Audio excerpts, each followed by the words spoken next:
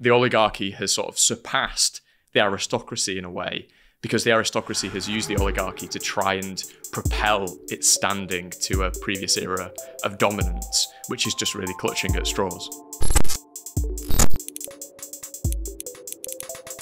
The British aristocracy. Once upon a time, they ruled the world, pillaging the global south for its resources. But now, after empire, they've turned their extractive, exploitative machine of governance back on the UK. From PPE contracts to austerity measures, our ruling class have robbed the public to enrich elites. But where did that mindset come from?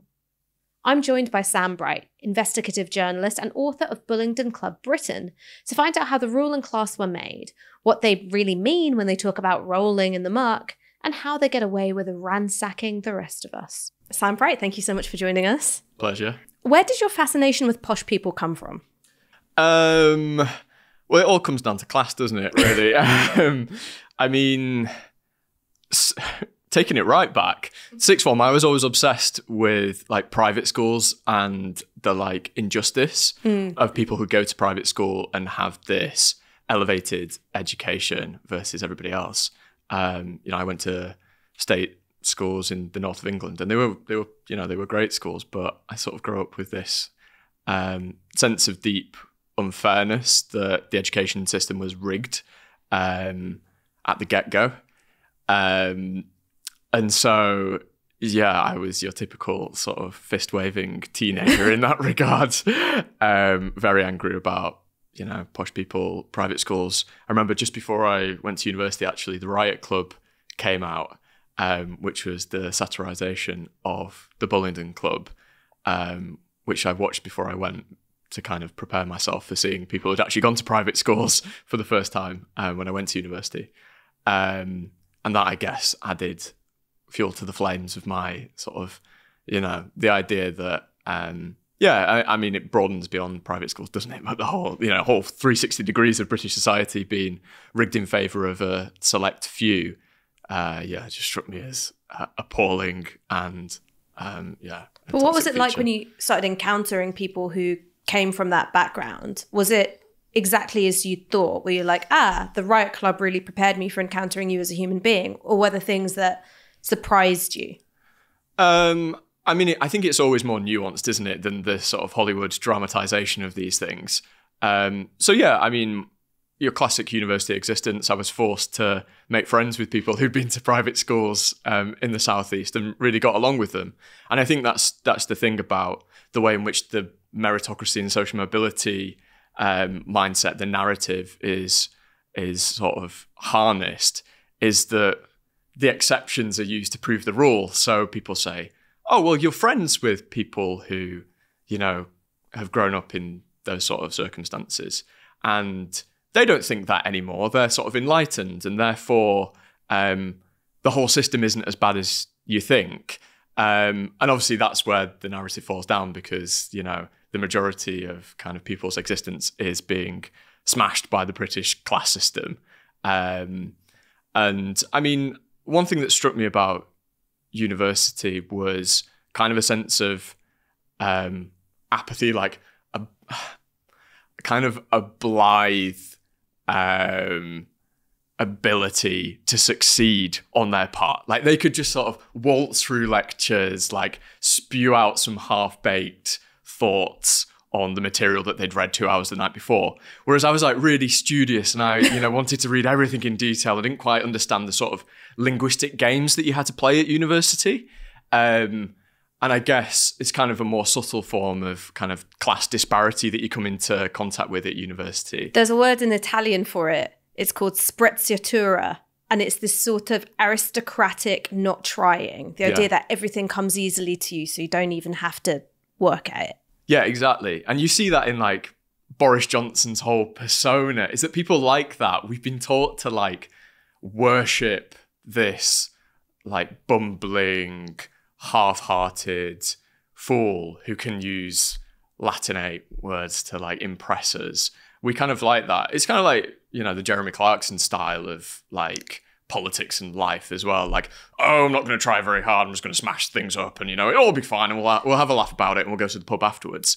Like, Whereas I was, yeah, I, I don't know, particularly going to a, a northern university, um, I felt as though there was kind of like a lack of um, kind of cultural and geographic understanding from What was the uni that you went to? York. So you went to York, and did you just feel that there are a load of people who'd like decamped from their sort of, you know, golden stoned public schools, private schools, and then suddenly they're up north and they're not engaging with the place that's around them? completely i saw it as like um, a hideaway for them for a few years to kind of trash a northern city and then go back home and you know get a job at a consultancy or a law firm or something like that rather than really i mean there were a few people who did embed themselves you know in the place but i'd say the majority um, kind of showed a, a willful ignorance towards the place How did it manifest? um, I mean, it was it was just like a lack of engagement with the culture of the place. I kind of like. I mean, I'm I'm as you know, Ash. I'm quite sort of um, chest thumping northerner. We'll get So- onto that, We'll don't get worry. onto that, I'm sure. Uh, so you know, I maybe I shoved it down people's throats too much, but it was kind of like a flippancy towards you know me trying to talk about those sort of things, or you know, just kind of like a, a lack of seriousness towards appreciating like certain values, a general kind of like I wouldn't say disdain, but like certainly bordering on disdain towards the like staff at the university who were the only ones that had like northern accents who came from the place. Um, and like I don't know, it's sort of the forming of social camps in a way. You kind of had the, you know, all of the the northerners keeping together and then everyone else um, doing their own thing. So it was kind of it was subtle. I mean, I write in the first book in Fortress London um, I interviewed a few people from Durham University because I was struck by the fact that Durham has both a northern society and a working class society at a northern university. It's like you kind of form societies either to have an excuse to go drinking or because you're some sort of like marginalized group and you need to stick together. Um, and so I was like perplexed that they needed a northern society. Um, and the experiences at Durham from the people I spoke to were like, a million times worse than the ones that I'd gone through, um, where um, there was a common term used, which was rolling in the muck, which was um, the term for sleeping with a northern working class person. Yeah. You know, the classic Bullingdon Club tactics of like burning money in front of poor people. Um, yeah, or like really just like nasty social bullying and prejudice um, at like a university that's based in a former mining region just seems like totally bizarre. And I think that sort of shows how, um, yeah, that seeped into our our society. I mean, hearing you tell these stories, it, it makes me think about my experience at university. Because I went to UCL, which is based in London, and I grew up in London. But suddenly, the London I was encountering at UCL was so different from the London that I knew. You're encountering people who went to private schools, public schools. I remember going to someone's house party going, Oh my God, this place is amazing. How much is the rent? And then someone's like, She's not renting this. Her parents bought it for her. And I was like, Oh. Um, but the thing which always really got to me is that I felt like I was taking things too seriously and everyone else was playing this game that I didn't know the rules for. And in um, my freshers week, I encountered this guy who quite a bit posher than me, had gone to a private school, and he really wanted to talk to me about Enoch Powell. And he really wanted to talk to me about why Enoch Powell was so great. And I was like, I am not going to share this opinion with you for very obvious reasons. And then he was like, no, no, no, no, no. Common misconception. Enoch Powell wasn't racist. Those were just his stupid working class followers.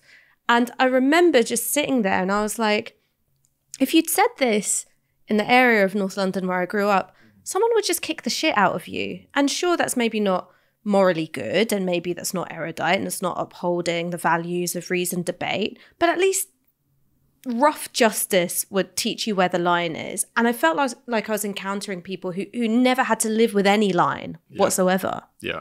Yeah, it's like the snobbery and the yobbery of the aristocracy. Like this whole idea, and obviously Owen Jones puts it very well in Chavs, this whole idea that the aristocracy and the middle class don't have kind of um, brutal values or you know the, the worst excesses of them don't have those values whereas they do like the way in which they express themselves to the people that they believe to be their social inferiors is cutting and it's devastating, and it comes from a position of power, which makes it all the more more dangerous.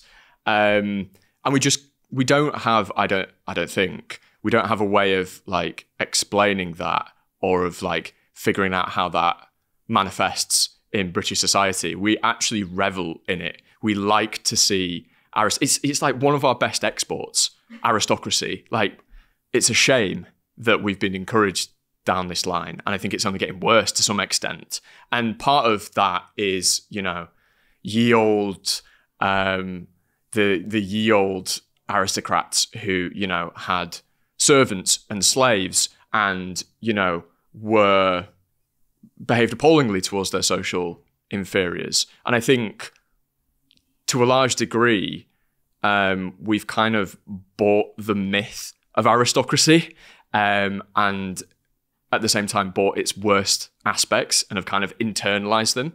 We haven't taught or we don't have a method of kind of um, creating a form of benevolent aristocracy anymore, even if that was the case. But I think the aristocracy has actually got more brutal in time rather than less.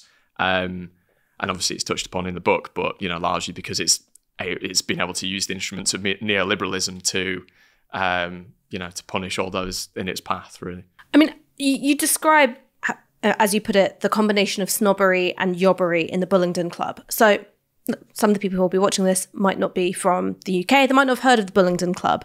Um, what is it, and what's so fucked up about it? The Bullingdon Club is it actually started as a cricket club and then merged into a drinking society. So you know, common story throughout. Sports and drinking. Sports never, and drinking. never heard of that. Yeah, exactly. um, was founded in the 18th century, um, and it's basically just like an elitist society for people to get drunk and behave appallingly. Um, specifically at the University of Oxford, um, its members are drawn from the top private schools in the country, um, predominantly Eton, Harrow, and Westminster. Um, George Osborne, um, our beloved former Chancellor, um, was a member of the Bullingdon Club.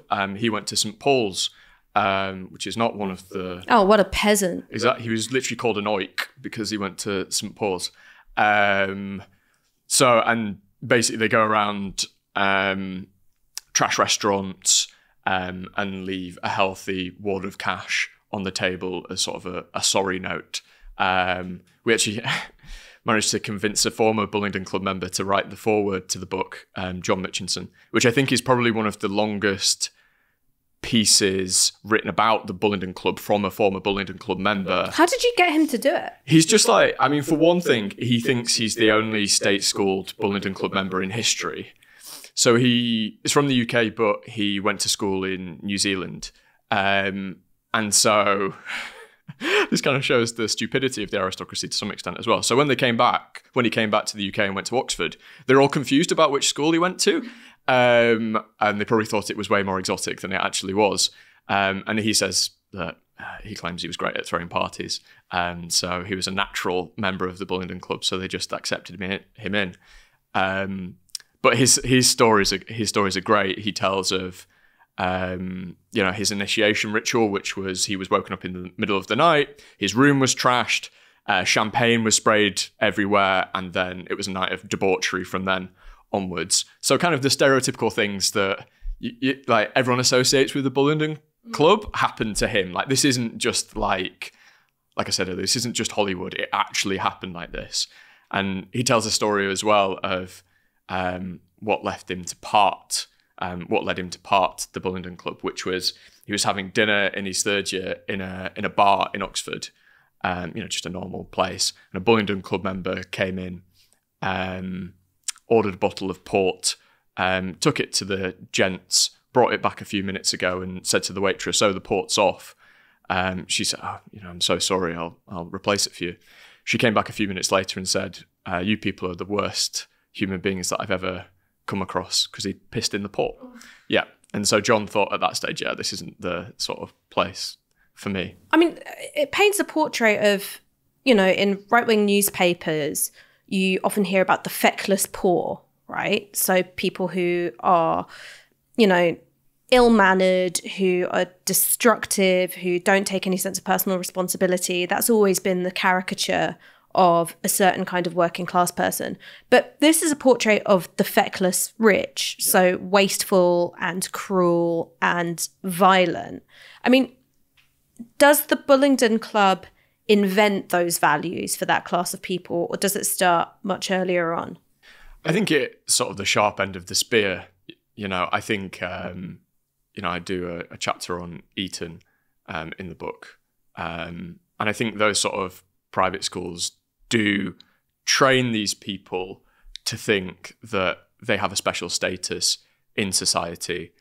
Um, you know, famously, Eton and you know lots of other exclusive private schools, they are built with hierarchies in mind. They have prefects systems. Famously, the one in Eton is called POP, which Boris Johnson was a part of. You know, the head boy and head girl systems, which have been adopted by the state, you know, the state school system, um, are actually designed in private schools to um, imbue this sense of hierarchy and of some people being more deserving than others.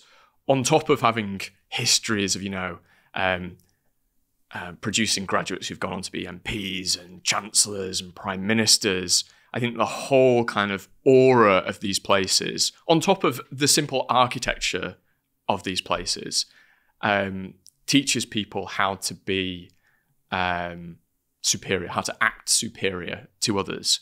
Um, and I think, you know, in many ways, it's, it's a function of the British class system as well. You know, these people have, these kids have parents who are judges, lords. They are, you know, the cream of the crop, you know, as they would like to put it. Um, and so this just this builds a sort of architecture around them, a framework, um, and also a social isolation. Like these places are campuses, kind of like mini Ivy League colleges. Like they're boarding schools. They're not supposed to be in contact with the outside world. And I think because of that, um, that kind of breeds uh, an arbitrary resentment towards the working class, mm. which then they can form these societies in Oxford, like the Bullingdon Club. And obviously, the Bullingdon Club isn't quite as popular as it used to be because it's been exposed so much. But there are drinking societies at you know Cambridge and at Oxford that provide a similar function that allow the these kind of quite juvenile attitudes, like you say, um, quite pernicious attitudes to kind of thrive in a university setting before acting as a launch pad into the professions where people, like you say, they'll go to house parties where everybody owns a property when they've graduated these universities. They'll go and work at law firms where they only recruit from certain universities, certain classes of people, um, you know, whose fathers probably work for the law firm or similar law firms. You know, it is, it's like an institution. It's like the firm, um, just on like a grand scale. When you don't come from that background, the image you have in your head of these people is that, oh my God, they're so much more sophisticated than me. And I remember feeling that at uni. I remember um, uh, our head of department having a go at me because I didn't know Latin. And I was like, well, Latin's a dead language. Do you know Bengali? And he was like, aha, a hit, a palpable hit. And I don't speak Bengali either, but he doesn't know that because I'm brown. But it was this sense of like, oh, you guys have culture you have culture, you are breathing the rarefied air of culture, and I don't have that. And I'm kind of scrabbling to get into it. But then, actually, what is exposed in this book, particularly in John Mitchinson's um, foreword, is that it's not sophisticated. It's actually very animal and very crude and quite disgusting. Like, like what does that about? Like, make that make sense for me. Yeah, yeah. I mean, I think it's partly just like social training that we've like been shown this on like TV and in films that these people are the sort of height of sophistication, and it's been amplified by Instagram, I think, as well. Like, you know, the amount of videos of you know posh people going to Santorini and you know the Amalfi Coast and that kind of thing. It kind of it's a very two dimensional form of sophistication where everything's pretty and nice, and therefore that means that it's erudite and also smart and intelligent. It's and like you say, it's not. It's largely just um, like drinking culture, just with more expensive booze. Like that's it. Um, I can do that. exactly. yeah. I mean, I mean, it's just it's kind of it's kind of ridiculous that it's been um, kind of placed into our social psyche that these people are better than everybody else. Um, I think as well, a lot of it is based around just greed. It's pure corporate greed. Like, um, I think that the whole base, and you see this with Boris Johnson, someone who, you know, uses Latin words. He likes to think of himself as sophisticated. Former newspaper editor, um, you know, written multiple books. You know, this is his sense of self. Is his kind of you know his classical education, right? What's he most obsessed about having stopped being prime minister, apart from trying to get back into Downing Street? It's making money. It's literally just talking at the biggest banks, um, you know, some of the seediest institutions in the world, trying to make bank, like buying a Cotswolds manor house and just having like Gatsby-esque parties. Um, you know, at its raw form, it's just like who makes like who wins is the person with the most money when they die. Like that's it at its most fundamental because that sustains the class.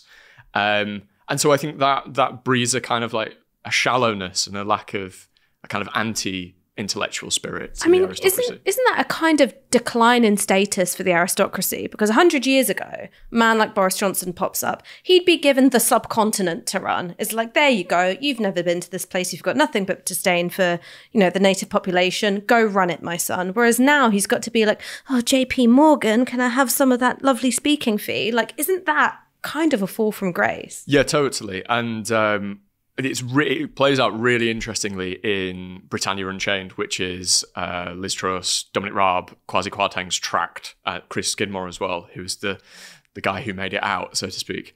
Um, like their whole thing is based around like how do we revive empire? How do we like it? Like obviously, as you'd expect, it has like Britannia on the on the like front cover. You know, it's this whole thing of like we used to be a colonial power and now we're not. And so, what can we do to turn ourselves into a colonial power? And the whole thing is not based around like we're doing this to provide for the wealth of the nation. Um, it's how do we provide for the elite? How do we ensure that we, as the elite, are the rulers of the world again? And yeah, it's that and it's that entire mentality. And um, Simon Kuper writes it in um, chums as well. This whole generation of people who went through Oxford in the 1980s, um, they'd kind of seen like their prep schools decline. Da- David Cameron's prep school um, infamously closed soon after he went there, not because of his exploits, but just because there wasn't enough demand um, for it. Um, and I think there was this real palpable sense of national decline during that period, um, and then revival you know revival of the aristocracy through Thatcherism. Um, and I think after having graduated these institutions, they put in place policies that have um, tried to reclaim that sort of colonial spirit again. But like you say, it, it never it never really works. It's always subservient to something else now in the modern world. Like we like trashed our industrial base. Um, and in order to prop up the pound, we basically needed other exports. And our other exports have been finance and have been the property sector. So we've basically let London and our major cities be bought up by the oligarchs of the East. And they've become a new power structure. The oligarchy has sort of surpassed the aristocracy in a way because the aristocracy has used the oligarchy to try and propel its standing to a previous era of dominance, which is just really clutching at straws. I mean, this is the Oliver Bullough's um, Butler of the World theory, which is that the British aristocracy has this huge global cultural status, which is, you know, a remnant of its time as an imperial power, but it doesn't have the financial heft to back it up anymore because we don't have an empire. But what we can do is sort of go, all right, we'll be the butler to your money. We will give you the sort of cultural cachet of our public school system and Oxford and, you know, be the sort of gateway into legitimacy for new money. Like we'll take the smell off the new money, but you know, let us get some crumbs for your table. Like is that something which you've observed through your own work as an investigative journalist? Yeah, definitely. Like um and it's a shame really that the the Russia's invasion of Ukraine only kind of brought this to a head because it's been happening for decades and people it's it's really flown under under the radar. Um the stories, you know, in there of like um, Boeing full planes of kids being ferried back and forth from St. Petersburg every summer to like, you know, London's poshest private schools. Um, I mean, famously now, the golden visa system was kind of, the, like you say, the gateway for the oligarchs, where they could essentially, the idea of the golden visa was that um, you could expedite a visa and even citizenship in the UK if you invested or you pledged to invest enough money in the UK. So you could get like you get citizenship in like two years if you invested 10 million quid, for or promised to invest 10 million quid um, in the UK. And there were like no due diligence checks on where this money was coming from. It was like, um, like we just stuck our heads in the sand as a nation and let oligarchs, not just from Russia, but from, you know, Gulf states to flock over here and basically camp in London, clean their money, um, inflate property prices across the country because we needed a way of propping up the pound and, like you say, ensuring that we had some sort of kind of USP in the modern world. And Londongrad was the way was like the way to do it. Um, and it's a it's another thing that I kind of it just baffles me in the wake of the war in Ukraine is that the golden visa system has now been like shut down. Just seems to be an admittance that it was like really dodgy to start off with.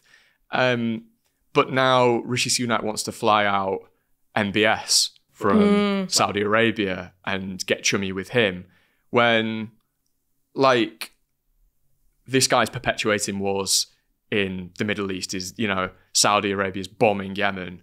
Um, he's he's he's cut from a similar sort of cloth. I'm not saying exactly the same cloth, but similar sort of cloth to Vladimir Putin um, the likes of the UAE and Qatar have literally been invited to invest 10 billion quid a year, sorry, 10 billion quid in total in priority industries. And this, this is going on while we're saying we can't have China investing in our primary infrastructure because it's a national security risk. It's like the contradictions of the British state in relation to oligarchy, just like like tires in knots. But there's also the way in which this does get an element of popular buy-in when you've got UAE or Saudi Arabia buying up football clubs. I mean, it really was like the Gulf monarchies derby this weekend, Man City versus Newcastle United. And not that there's any such thing as clean money in sports, I'm not naive, but there was such celebration when the Saudis came in to do their buyout of Newcastle United because the thing that it promised for people who are fans of the club was okay, we're going to restore pride. We're going to put money into this team. You're going to feel good about yourselves again. I mean, how does it make you feel when you see that kind of like big buyout of like, you know, local assets, treasured local assets like football teams? Yeah, I mean, the thing to say as well is that this all this all happened um, was facilitated by the British government. So it tried to hide its role in the Newcastle sale, but essentially at a very high level, like up to the foreign secretary, they were trying to make this happen. They were, you know, organizing meetings for Saudi Arabia to buy this club. So the British state is like it's it's part of this moral failure. It's like at the center of this moral failure. I think the thing is that like as a football fan, I see why there's jubilation on the part of fans. And I think that football is such a national institution in a way that sadly kind of politics is not, that I can see why this is happening. Like people value and um, the success of their football club, rightly or wrongly, way more than they value who's going to be in power the next general election. And that's just a general social issue that we've got to wrestle with one way or another. Um, well, there's some degree of accountability in football. If the manager doesn't deliver, he gets sacked. If a prime minister doesn't deliver, he gets elected again. I mean, you can't get rid of can't get rid of the ownership though of a football club. Really, I mean, maybe if the government brings in its you know fan you know you know fans on boards and that sort of thing, we might get a degree of balance. But even still, um, like you can't, you're not going to unseat the Saudis or UAE really um, if you're a fan. Um, I think the the the problem is that it's kind of like um, it's like a gateway drug, really. The buying of football clubs, like it allows good PR for these like Gulf states, these petro states, these you know like essentially dictatorships, to then squat really in local areas. You've seen it in Manchester. There's been a huge buy up of property and assets in Manchester by the United Arab Emirates following their purchase of Manchester City Football Club is essentially a second state within Manchester. And I've no doubt that Saudi Arabia will try to do the same in the Northeast. And again, this is sanctioned by the British government. The British government, um, following the 2019 election and Boris Johnson's, Johnson's promises to level up, um, it said, yeah, we'd love, to, well, theoretically love to do that because we want to win the next election, but this is going to cost a shitload of money. Who's got a load of money? Petrostates. And so they've basically ushered in these, you know, these people with horrific human rights records um, as a way of fulfilling that leveling up promise. Like Teesside, Freeport's, like that's a big engine for the this sort of investment, often in dodgy, like greenwashing projects like hydrogen, carbon capture, etc. Um, and so I kind of I worry about like local capture as much as anything. I think like London to a large degree is beyond the point of return with the amount of kind of oligarch capture that we've got. Um, and I just yeah, the big thing for me is not seeing kind of a domino effect of other places in the UK fall into the same sort of cycles as London. You know, housing problems, only luxury housing being, being built, no social housing being built, like poor doors poor exactly poor doors, um, sky pools, like you know, the country's unequal enough without then an extra layer of elite oligarchs being added and dragging it further towards, you know. I mean, how does this square with, you know, Brexit? You know, 52% of the electorate voted for Brexit, and whether you were a left wing Brexit voter or a right wing Brexit voter, you were united in wanting to bring some, some semblance of control and sovereignty back to this particular national population. Uh, the same people who are campaigning for Brexit are also the same people who've been the midwives of this massive sell off of local and indeed national assets to foreign powers. Mm. How do they get away with it? This is the thing is that I always thought that this would kind of um, be the undoing of the Brexit project, so to speak, is the kind of national populism of well that's articulated by like UKIP, eh, like old UKIP, like it's like kind of leftish economically, or at least pretending to be, and then quite right wing socially. Um, which Boris Johnson kind of epitomised it. He tried to do that as well. That was kind of the, the square he tried to hospitals, but not for migrants. That kind yeah, of thing. Yeah, exactly, exactly, exactly. Um, and then the kind of intellectual, intellectual, ideological kind of forefathers of this movement, the likes of Jacob Rees-Mogg, Daniel Hannan, Douglas Carswell, etc., um, who have an obsession with libertarianism, which is basically, you know, burn the state, free market, um, let's appeal to, you know, the, the developing economies of the world and get them to invest in this country, etc. And, you know, you, you kind of saw it with Liz Truss, actually, because she was that she was the kind of wet dream of libertar- of Brexit libertarianism. Was it um, Airbnb, Uber riding freedom fighters? Exactly, like Deliveroo Britain. It's like it's like a real and, and it and it just disintegrated on contact with you know economic reality for one, which is like hugely ironic, and um, but also you know on contact with the electorate. You know what would have happened to the Conservative Party if Liz Truss would have led them into a general election. They would have been wiped out, right? So actually, people don't identify themselves by their depression takeaways. You know what I mean? Like there are values that we hold more dear than like you know a pad thai winging its way to me in 15 minutes. Completely, and I think I mean a lot of the a lot of these people who've been on the libertarian wing have like vested financial interests in this like uh, outreach strategy, for want of a better term, to the east. Like Jacob Rees-Mogg, like is an investment manager, um, formerly with Somerset Capital, who've got massive like investments in developing economies. Like he sees the world through that prism of like these countries have got mad growth, Britain doesn't. We're gonna try. We're gonna have to tie ourselves to them to make it work.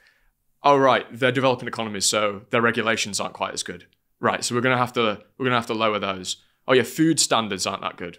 We'll lower those as well because ultimately we just want growth to be able to splash the cash on the things that we enjoy, and you know the workers they'll have to fight for their supper, but they'll they've done that for generations. It's like a Dickensian view of Britain, like merged with like techno oligarchy.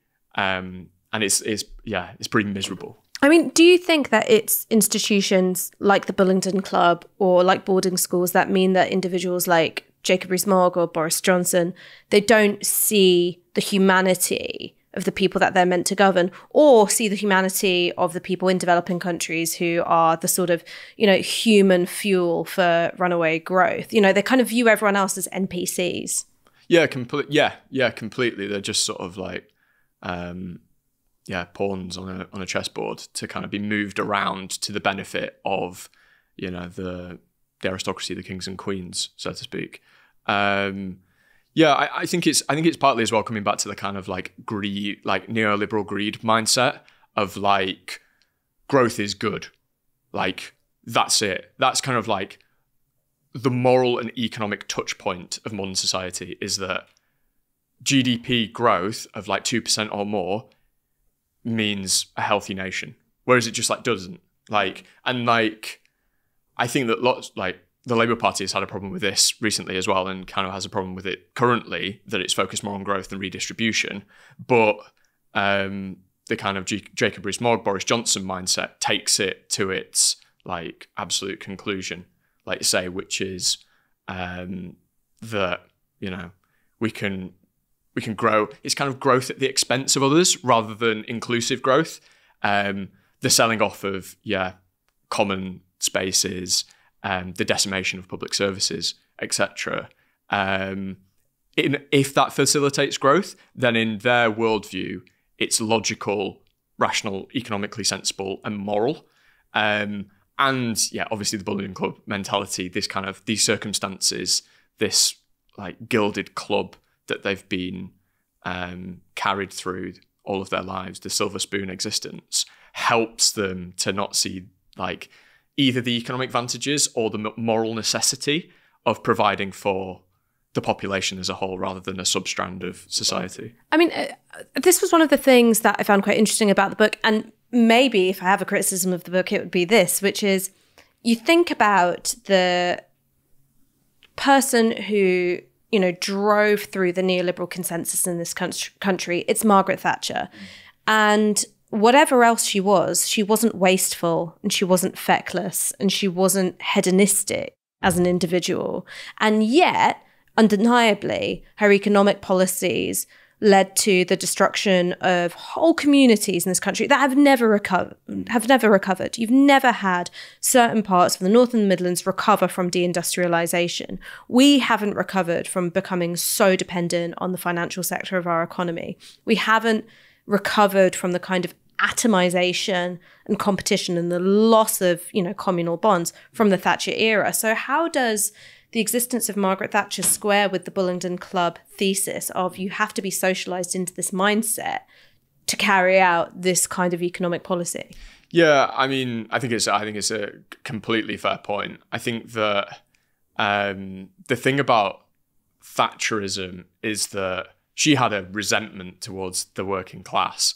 Um, you know, the, and and actually the aristocracy, less so the aristocracy, but certainly resentment towards the aristocracy. She was sort of like the bully pulpit for middle class interests. Like she was absolutely single minded about representing the interests of like the small business owner but at the expense of everybody else in society. Daughter of a grocer. That yeah, was her big thing. Exactly. And she punched in like both directions to kind of fulfill that aim, right? I, I think that the way in which this is manifested post Thatcher is really interesting because I think that like the aristocracy, as I, as I mentioned earlier, was kind of getting battered a bit. During, even during the 1980s, it was the yuppie era. It was like supposed meritocracy. You know, private schools were getting shut down. Like there was a real trend against um, like old Etonianism in government. She famously got rid of like the old guard of old Etonians. It was all about grammar school grafters. But the aristocracy, like, it kind of sounds like a conspiracy, but not conspiracy theory, but a conspiracy, as in, like, I think essentially what happened was the aristocracy said, right, well, Thatcher has created a system in which organized labor has been smashed, in which um, power and money can be concentrated in a few firms, monopolies can develop.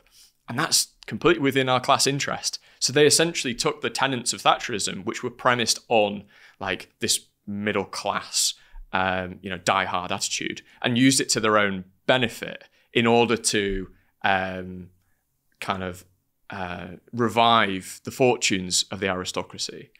Um, and it's really interesting. Um, one of the Saatchi brothers, I forget which one, but it's quoted in the book, um, gave an interview to the Times recently. And obviously, the Saatchis did Thatcher's advertising in the 80s, uh, the Conservative Party's advertising in the 80s. And he said Thatcher would have hated what her policies created because she would have seen the sort of techno monopolies that have been created in the modern world as bad as like excessive state power. Like she was, you know, theoretically in favor of competition and, like you say, graft and merit. And actually, the outcome of her policies were like the revival of the aristocracy, monopoly power, state capture by private institutions um, that have um, a specialism for procuring government contracts above anything else, like a lack of competition in the market. Like her, like, and Saatchi's kind of implying that she would be like more left wing now than she actually was back then. So I kind of think that Thatcher created the kind of perfect like breeding ground for the aristocracy, um, kind of unknowingly in a way. Mm-hmm. Um, and that's just been exploited like by the Bullingdon Club elite. I mean, you, you use the word conspiracy, and it made me think of the fact that something you hear an awful lot from you know legacy media journalists particularly you know from the BBC and the Times is that they always say cock up is much more likely than conspiracy. And when you try and say, well, something has been designed this way or it's a product of coordinated activity, they make you sound like you've got a tinfoil hat on your head. Where do you stand on the cock up versus conspiracy thing? Yeah, I mean, I think that often things are cock up because, like, people in power are so stupid. Like you certainly can't discount it as a theory, um, given like recent evidence as well. But I mean, I think the the like the crystallization of this was the cronyism, corruption, chumocracy, whatever you want to call it, during the pandemic, whereby um, Tory donors literally called up their mates in government and got contracts. Like we have the receipts. We we know now that like, for example, won't name names because don't want to get us sued, but like a Tory MP who was consulting for a particular private firm, called up, well, sorry, emailed Matt Hancock um, in order to encourage Matt Hancock um, to commission COVID tests from this particular firm. Um, and then Matt Hancock passed on this inquiry from the MP immediately to his officials. Like, we know Lord Lord Bethell, who was kind of at the crux of um, the uh, Department of Health's procurement during the pandemic, he stood up in the Lords fairly early on during the pandemic and was questioned about these contracts that had been awarded to um, Tory mates and donors. And he openly said, it's like on the record, it's in Hansard, he said, we used informal arrangements to procure contracts. Like, no, no, like sugarcoating it. Like, he literally says that, you know, we used our contact book to get the supplies that we needed at that particular time. They're not saying that cronyism didn't happen. They're saying that it was justified given the circumstances, right? And so you just, it's been laid bare, like how this actually happens at the top of government, how Tory donors like have a direct line to ministers. Like Open Democracy has done, Peter Geoghegan in particular has done brilliant reporting on this in recent years, um, showing how the Conservative Party has created a structure, like a Patreon structure, right? Where if you're a donor, you get certain privileges. And those privileges aren't like, oh, uh, I don't know, like you get a grand piano or something. it's like you get a seat in the Lords. You get like, yeah, I mean, like, like more than 50% of people who've donated a million and a half to the Conservative Party have been given peerages. Like, coincidence? like, come on. Um, but like, so there's like there's like levels to do- Tory ownership, and what you get is you get more access the higher you go up. So the leaders group, which you have to donate fifty grand a year to be part of, you get like kind of like a like a like social status within the Conservative Party. You can mingle at dinners with ministers, etc. And then the more you ramp up, the kind of tighter the circle gets, and the more policy focused um, your advice becomes. And that gets to such a level for quarter of a million pounds, where during the pandemic you could be part of a Downing Street advisory board, which was chaired by Boris Johnson's chief of staff, where you got direct access to the prime minister, um, to ministers, senior officials, to lobby them about policy, not just to chat to them and kind of have a, a word in their ear about a particular development that you might want to be approved because it would benefit you, but literal like COVID policy. These people were being asked to like give their expertise on. It's basically it's cash. It's cash. It's a modern day cash for access system. The irony, the irony of you. I agree. There's like a general kind of like snobbery from the press, like uh, you know the the mightier than thou, like kind of media establishment. Um, you know, of those who report about these things or at least shout about them. But that story about the Downing Street Advisory Board was reported by the Sunday Times, was exposed by the Sunday Times, right? So they got this weird thing where they love to break the story, but they're not willing to consider what this actually means systemically. And I think that's where it falls down. Often they have good journalists, but they have really poor, like, systems of explanation of how this operates and why it happens. Because I was thinking about a time I was on Politics Live not that long ago, and we were discussing a story like this. It might have been something like second jobs, it might have been something like procurement, but basically it was about there being an uncomfortably close relationship between big money and politicians. And I said, This is corruption operating in plain sight. And I got slapped down by Jo Coburn. It was like, You can't say that. But why not? If it was Bangladesh we were talking about and do, we were describing the exact same dynamics, people would have no problem describing it as corrupt. So why is it that the uh, custodians of our information ecosystem are so reluctant to use the word corruption? It's really interesting because on top of that, the public thinks it's corruption. The, the public think that politicians are all in it for themselves. And often that's like an unhealthy attitude, but in many ways it's true, right? And like they've seen it repeatedly over the years. So the the custodians of our public conversation are out of step with both political reality and public sentiment, which is a really bad place to be in. Um, but I mean, there's a very simple explanation for this, which is that the very people who are at the top of the media clique are part of this like corrupt, chummy system, like the whole lobby system. And there are some really good lobby journalists, don't get me wrong. And again, this is a thing about individuals versus systems. Like the systems are the important thing. The whole lobby system is based around access to power. The lobby literally describes the place in Westminster where journalists can hang out, can chat to MPs, can get gossip. Um, and then often the stories are kind of like anonymized. So they chatted to an MP or, an, or a minister, and they'll be described as a Sunak ally or a you know former Boris Johnson minister, and it kind of gives this whole cloak and daggers like House of Cards feel to British journalism, um, and that's just like that's just the nature of it. Like, and as a result, you've got a system whereby those who are able to extract the most information from the most senior ministers are successful in the lobby system, which psychologically means that you're like you're not going to call them out. You're not going to call out the same ministers who are giving you tips. Like you're just you're just trained because of the system to do that. And then you've got on top of that, you've got you know the sort of uh, monopolistic ownership of these media titles by you know we all know the names, you know Murdoch, etc., um, Rothermere, and now increasingly you know like Paul Marshall um, at GB News and Legatum, the Legatum Institute, where like you know they're very rich men like with certain economic interests like they're going to like lean well not even lean because uh, you know i haven't seen the inside of these institutions. Like i've worked for the bbc but i've not like worked for like the times for example.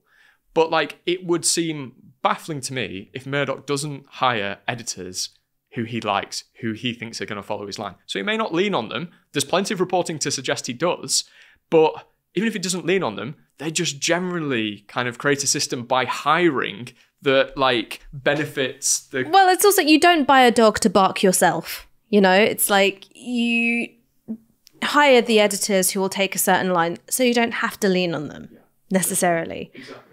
I mean, it's funny that you mention um, newspaper oligarchs, and I don't want to get sued either, so I'm not going to be naming any names. But I've um, got a friend who who grew up in the rarefied. He grew up in the rarefied environs of Chelsea, and so he's always telling me these insane stories from being a teenager, which for me is like, it's like you know, listening to like, you know, the real housewives of Kensington. Like, it's just so bizarre to me the way these people grew up. And I didn't exactly have a sheltered upbringing, but there's like a level of extremity for the children of the rich, which I just find endlessly fascinating. He was telling me about um, um, the the son of a newspaper oligarch, either the son or the grandson, um, who, if I said their surname, would be very recognizable, who was bought a McLaren at the age of 17 and wrote it off, like repeatedly wrote off these supercars, you know, had a relationship to um, drink and drugs that if that was a working class child, you would be talking about failures of the parents, crisis of morality, um, you know, chavs, violence, this, that, the other. And for me, it was just this horrible realization that the norms which are used to police working class people, those norms of behavior, are not only absent when it comes to the children of the super rich, they would be seen as not being really one of the gang if they did abide by those norms of decency and morality and respect for other people. Yeah, completely. That's like the kind of social proving ground is how like kind of yeah, how like how well you can practice excess. Um yeah, and get away with it. And also like they're just shielded from like consequence in that sort of system. Um, you just again like let's bang on about Boris Johnson because he's gone now, thank God.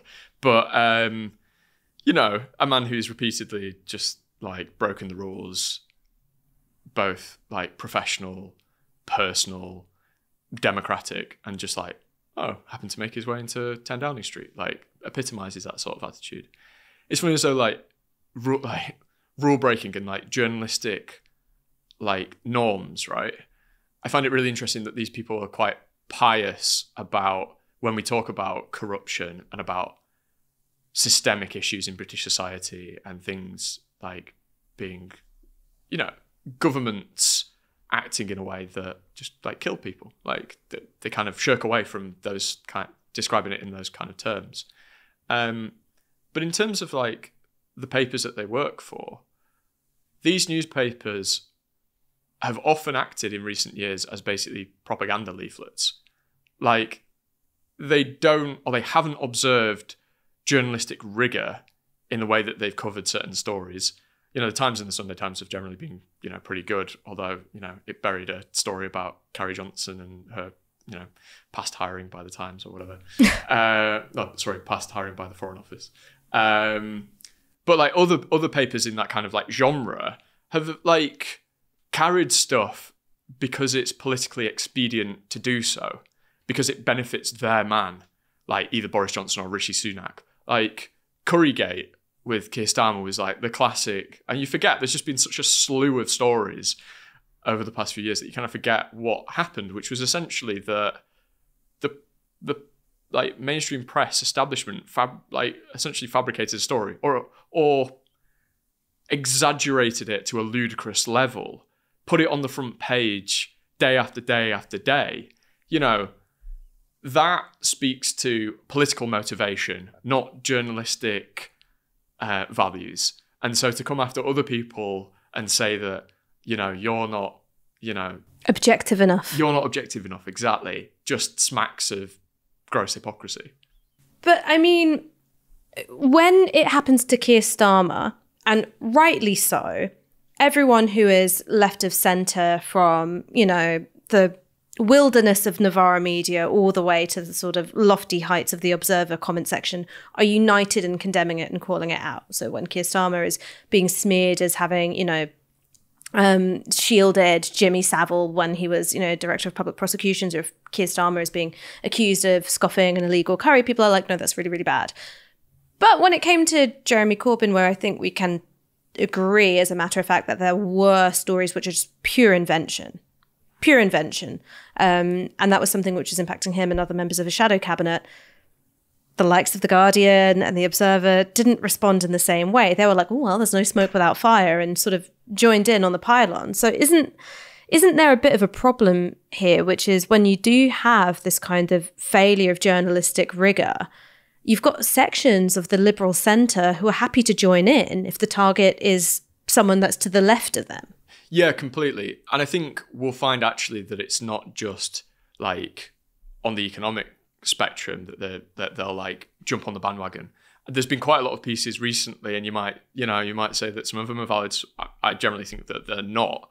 That about like radical centrists. Like there's been a lot of like um kind of like harsh criticism of those who've you know economically and politically they're still like finding their way shall we say but in terms of what they've realized in terms of like the scale of government corruption in these past few years right and calling out like um snobbery and elitism, etc. And in fact, you know, calling out profiteering. You know, the centre's actually getting more radical economically, or has got more radical economically recently.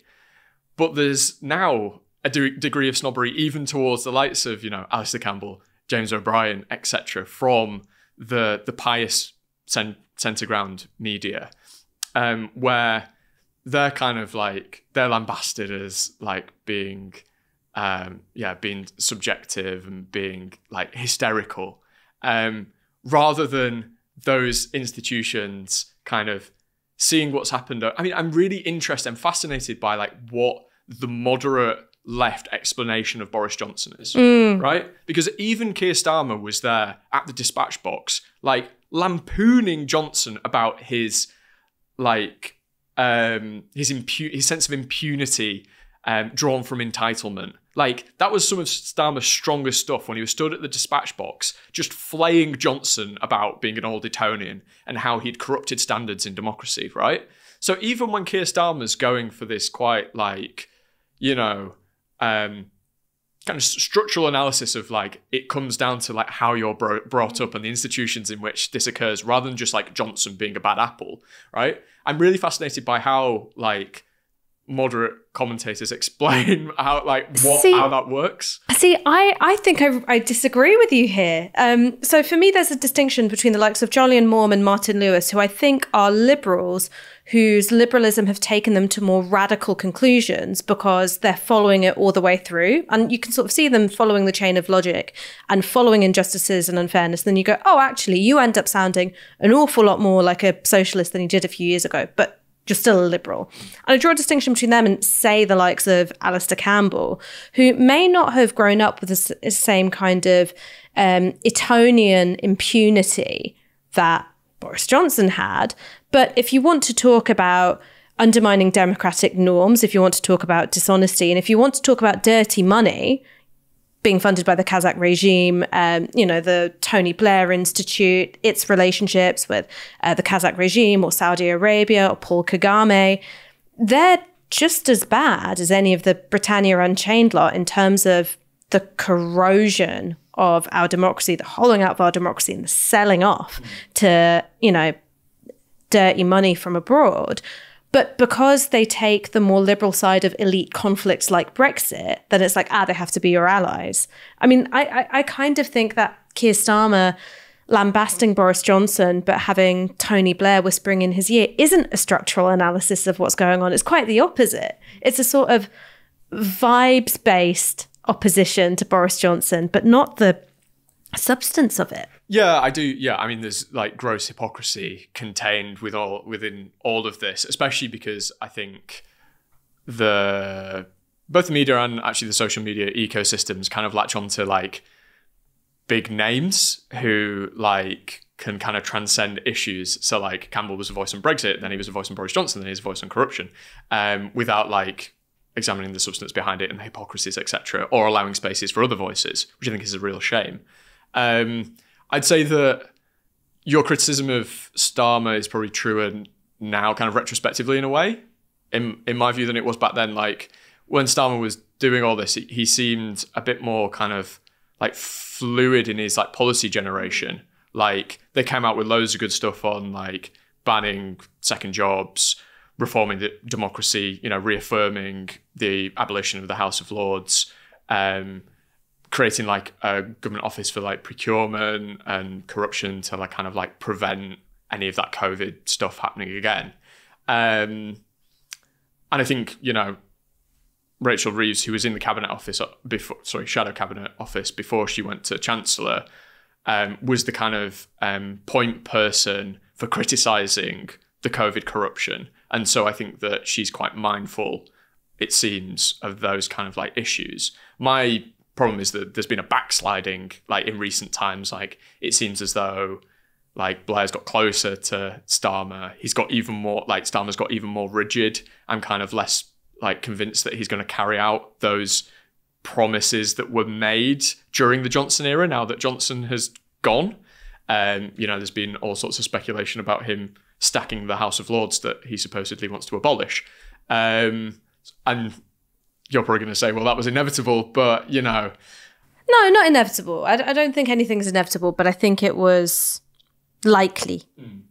Um, I mean, it's something which you, you mention in the book when you're talking about this relationship between, um, you know, private corporations and government contracts. That you mentioned that many of these seeds were planted under Blair. When you think about private finance initiatives, the Carillion scandal, which now seems like a million years ago, that was planted in the sort of Blair era. Are, are, you concerned that when you hear Keir Starmer or Wes Streeting talking about the need to involve the private sector in things like healthcare provision, um, you know, when you think about how well, how is that 28 billion of green spending actually going to be um, carried out? Are you concerned that it's going to be the same mistakes in terms of, you know, outsourcing the McKinseyification of, you know, government infrastructure projects? I think so. I yeah, I am concerned. One of the reasons that I'm not, and I'll get onto the reasons why I am in a second, is that Rachel Reeves actually was quite um like the the Carillion collapse was quite a formative moment, like in terms of her like the her development of her politics. Um, so I think she might be one of the few guardrails against sort of you know the outsourcing culture that we've seen recently. Um, but I think there's several reasons why I'm, you know, skeptical. Are that I mean, one, the effort to kind of extricate the state from these companies will be huge. These operations are formidable public affairs like lobbying groups. They spend millions of quid every year ensuring that they get billions of pounds of government contracts. Like they're embedded within like every aspect of government policy, from healthcare to immigration detention. Um, Child protection was one of the things that you pointed out in the book. Yeah, foster care. Like, obviously, we know the social care system is heavy, basically, you know, wholly privatized, but the foster care system as well is like stocked full of private equity firms um, who make huge profits through it. It's like, and so I think you need a degree of boldness in order simply to tackle the state that we're in. Um, and I think, like you say, the general vibe from Labour is quite management consultancy ish currently. Like, and that's due to the kind of managerialism of Blair and, you know, how that has spawned through Starmer and his political vision is conservative, is rigid, is like, is it, you know, you know, no matter how, um, you know, sympathetic you are towards Starmer, he's not a visionary, right? And I think you need to be a visionary to basically make a massive institutional change to the way that the government operates, right? To separate state from corporations, um, because they're basically wanting the same now. Um, so, and then on top of that, yeah, like you've got all the kind of warning signs of talking about, you know, we're still going to outsource, etc. Um, so yeah, I am, and when the right wing press puts pressure on Starmer, etc., when they get into office, um, the tide's going to be they're going to be you know sailing into headwinds, um, and I'm not sure that he's got the sort of in ideological foundations that kind of like purpose of politics that says this is what I want to do. I want to ensure that you know we don't have state capture anymore and to like deliver on that. Like wait to be convinced. Like, but yeah, I'm not that optimistic. I mean, if I could sort of, you know, probe into your brain a little bit, um, for you, are these problems which are problems of neoliberalism, or for you are these problems which are problems of capitalism? Like, where do you sort of sit politically with those things? Yeah, I mean, increasingly capital- capitalism probably started with neoliberalism, and then yeah, I mean, I think that wherever you turn currently, you see the problems of capitalism manifest.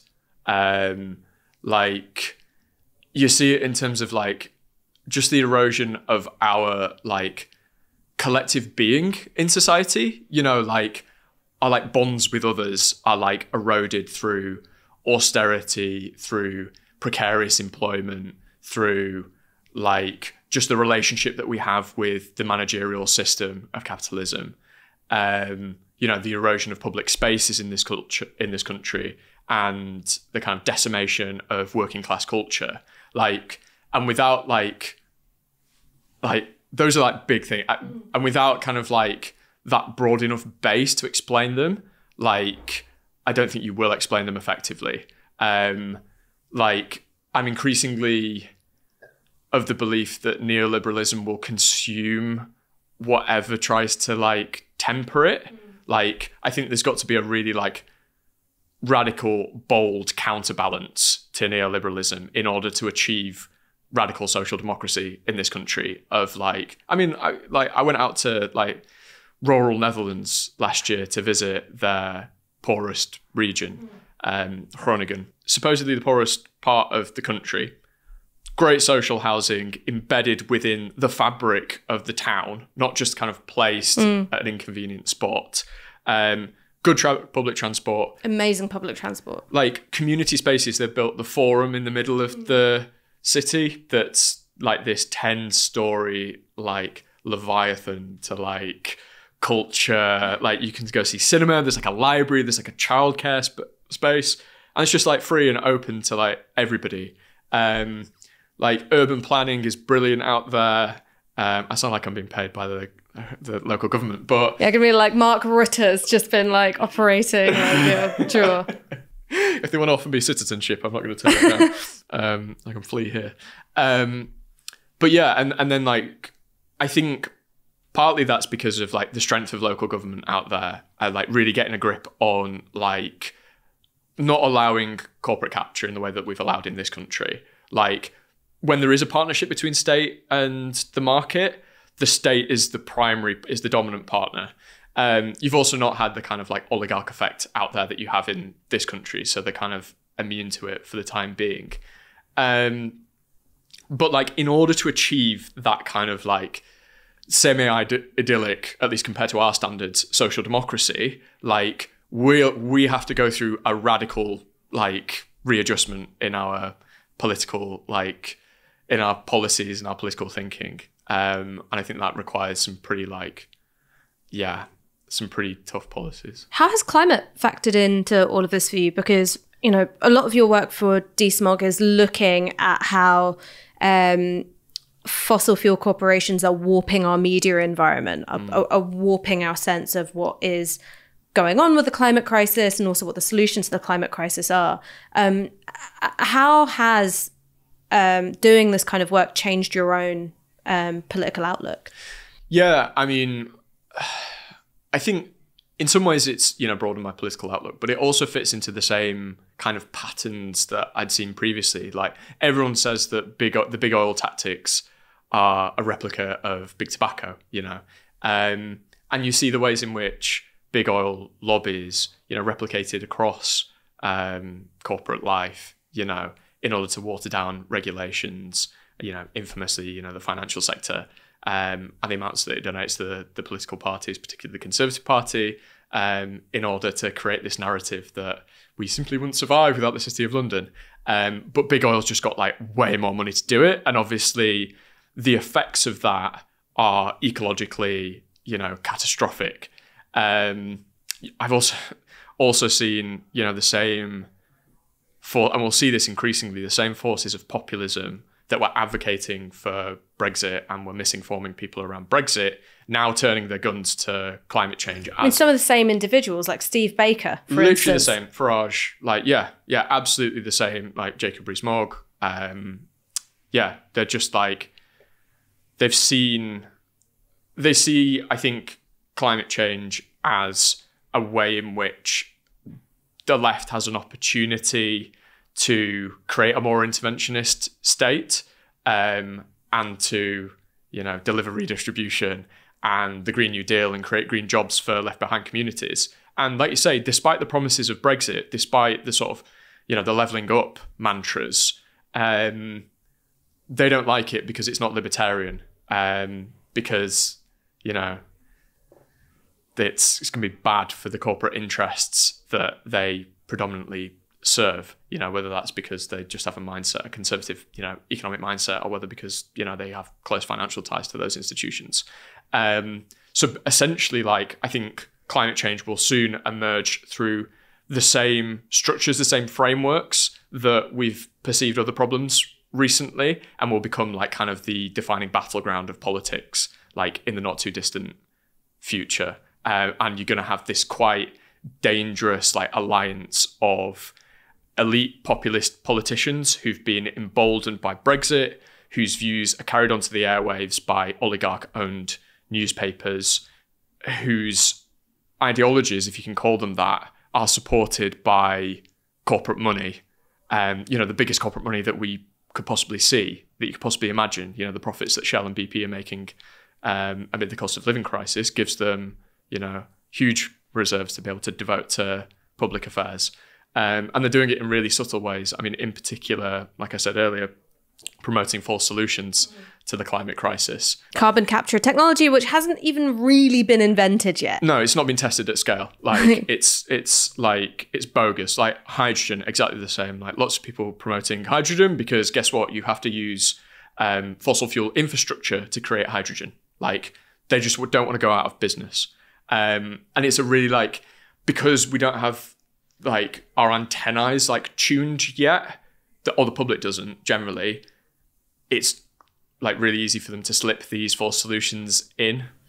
I mean, not to sound like a, a, technological determinist, but actually, I think I'm increasingly a little bit of a technological determinist. Is part of this because the solutions to the climate crisis fly in the face of rentierism. This idea of you know we're we're renting all the things we need off of the people who own them. Because let's say that I want to have a, a totally decarbonized house. The things I would need are insulation, an air or ground source heat pump, and solar panels on my roof. Now, those are all things that I have, right? That they're mine. You can't turn it off at the tap, right? Unless you have that kind of like crazy kidnapping software that, like, you know, the Lime bikes have. Um, but basically, I would have them. Whereas, you know, the model of rentierism, that is the basis of our energy production in this and every other fossil fuel dependent country. Like, is it that actually the solution to the climate crisis, the things that we need and that and that we've got the possibility to have, it just drives a coach and horses through the basis of the economy that we've got. Yeah, completely, and flies in the face of like a city of London led economy. Like, I think in in many ways the Green New Deal like freaks people out, freaks like corporations out because it's promising a revival of industrialism, potentially unionism. Mm. You know, we can only hope. but you know, even even the spectre of that, I think, kind of um, produces produces fear.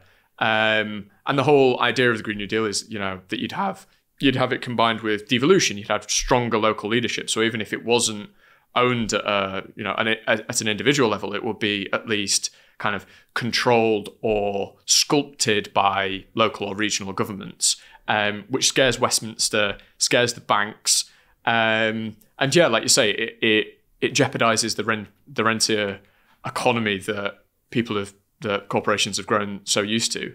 Um, but I mean, I think it's it's just it's basic profiteering. It's just like these these firms like the likes of Shell, like just do not have a simple financial interest to divest. And until like we either smash their mode of production or like we encourage them. I don't know how to like divest. Like we're gonna be we're gonna be stuck in no man's land. Um, I mean, it, it bonkers to me when you mentioned the insulation thing. Like that is one of the most basic things that could have brought people's energy bills down.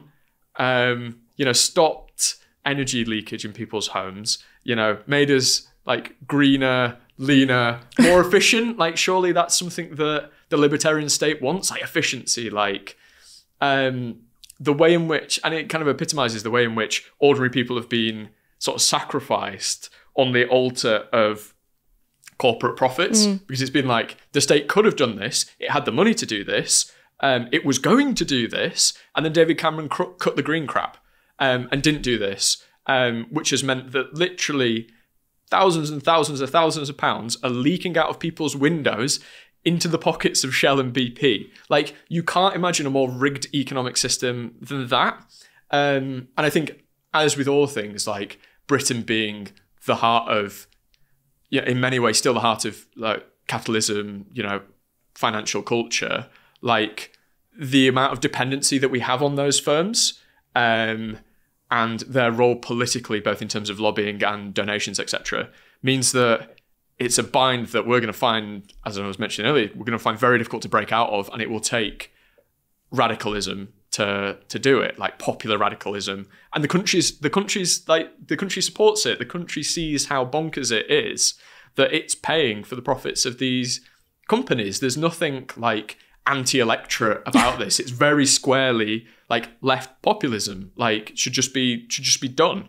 Like with boldness, with the courage to do it. I mean, just to wrap up by looping back to the beginning of the discussion, which is you've got this class of people who have been responsible for the ransacking of our country, either because they've done it themselves or they've allowed corporations on oligarchs to do it um, because it's, you know, beneficial for their class to do so. When you think about these individuals, do you feel the emotion of hate for them? No, I don't. I don't actually, and I think it's quite important not to. Um, you know, as much as we are talking about like objectivity in journalism, um, you know, you do have to kind of with any story, you know, do an investigative journalism. If merely to prevent getting sued, you need to come at it with a degree of like what's factual, what's not. Like take my emotions out of it. It's it's often what you can prove rather than what is actually the case. And to have that, you've got to, I think, have a clear sense of like who your targets are, like who the bad guys are, so to speak, or the people causing the problems in society. Um, so you've got to have that, I think, moral basis to do your journalism, or else, like, why were journalists in the first place? But you've also got to have a clarity of thought to know when you're stretching the boundaries of plausibility mm-hmm. too far. Um, so no, I mean, I like, I don't, I don't feel, I don't feel hate for them. Um, I just like feel yeah, I just feel sad about like the state of the country. Really, it sounds like quite like I don't know, idealistic, but like you can you literally just go abroad and things are so much better. They're less corrupt. They're less extractive. Um, and I'm like, why just why can't we be like that? And it's just about shifting those blockades to like that sort of society being created. And often those are individuals standing in the way. So you've got to, yeah, you've got to target them. Sam Bright, thank you so much for joining me. Pleasure.